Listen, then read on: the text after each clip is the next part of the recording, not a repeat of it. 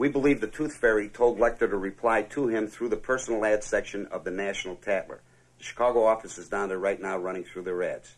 We have cut into a line of communication between the Tooth Fairy and Lecter. If we find Lecter's reply, we plan to pull it, substitute it with one of our own.